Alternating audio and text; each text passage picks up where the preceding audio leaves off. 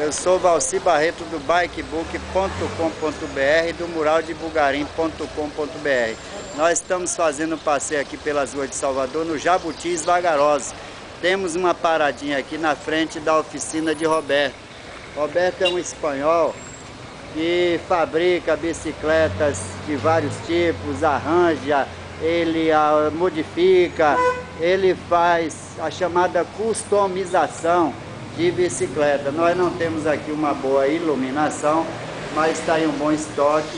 Ele já pedalou por todo esse país, sai daqui de bicicleta, vai para Aracaju, vai para a Vitória da Conquista.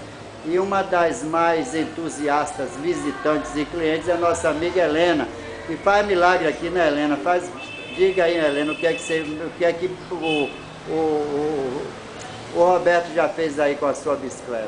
Ah ele é fantástico. Minha bicicleta fez sem um pezinho. Ninguém colocava o pezinho, mas Roberto colocou. Tá vendo você aí? Essas bicicletas reclináveis também, que é que gosta de pedalar, ele fabrica. E agora onde é que fica Roberto? Roberto fica aqui na frente da Galeria Sona Sete Portas, é na rua de Jalma Dutra, em frente ao Shopping Sete Portas, é próximo à Tribuna da Bahia e aqui está a loja dele. É, a Djalma Dutra, como toda Salvador, tem um problema sério de, de número. Você vê que tem um número aqui 315 e ao lado é o 74. Então do lado do 315 74, 315 e 74 está a oficina de Roberto. É uma, uma oficina simples, mas é um cara extremamente talentoso. Aqui você está vendo essa placa aí, Santo Agostinho Matatu. Então é quase é ao lado dessa entrada aí que vocês estão vendo. E aqui mais um recadinho para o deputado Marcelo Guimarães Filho. Aqui nós temos uma, duas, três, três, nós temos três espaços aqui para veículos. Não há um espaço sequer para o pedestre, os passeios são apertados e não há um espaço sequer para bicicletas e motos. Então as pessoas têm que se virar como pode. Agora, no entanto, tem pistas para carro. Nós temos que fazer uma cidade onde as pessoas possam andar a pé, andar de carro e andar também de bicicleta e motocicleta. Então tá aí tudo engarrafado. Tem gente que com certeza está vindo aí de 500 metros para fazer a feira aqui nas sete portas e que poderia vir a pé ou de bicicleta. Aí vem todo mundo de carro, enche a rua de poluição, de pneu, de ferro e às vezes transportando uma pessoa só.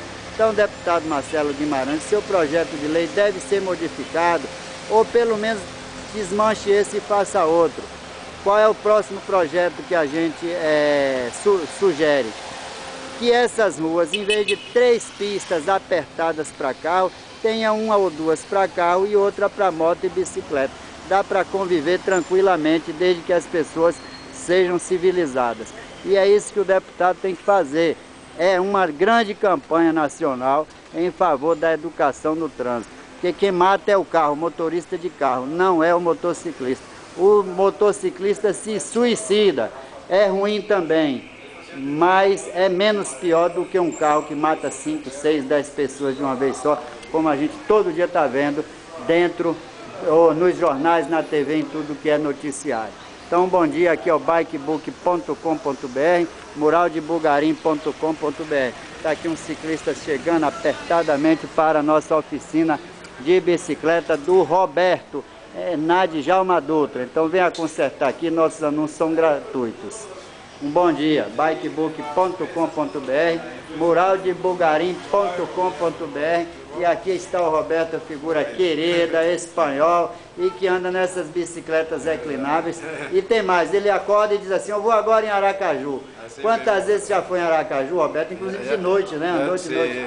Noite, dia, com chuva, com tudo, calor, com... frio. Roberto, é o seguinte, você abrindo muraldebugarim.com, bikebook.com.br, você vai ver que sua oficina é uma das mais cantadas pelo ciclista baiano. É, então, bom dia para você, Roberto, bom trabalho. A Helena já resolveu o problema dela aqui e Tana também.